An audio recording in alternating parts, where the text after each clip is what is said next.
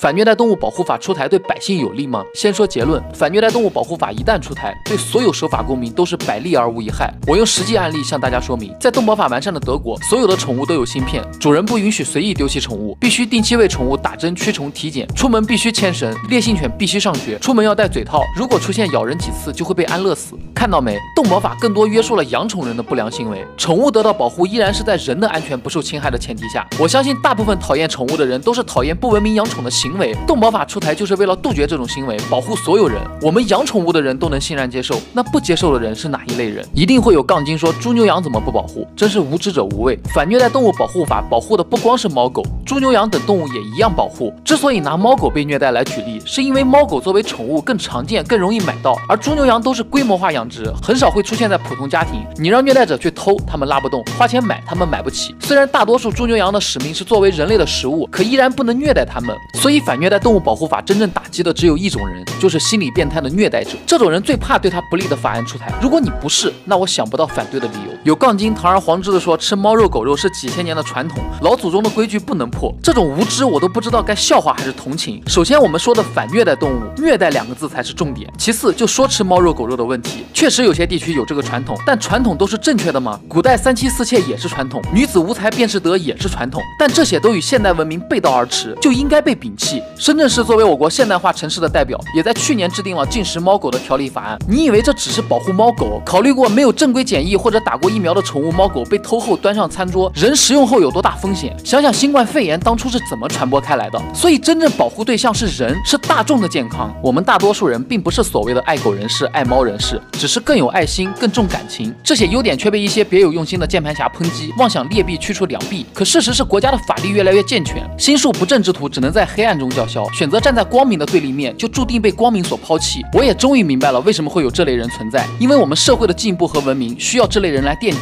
最后思考一个问题：是不是一个城市或者国家越文明越发达，这里的人们对动物的容忍度也就越高？我是霹雳新爹，有问题评论区艾特我，respect。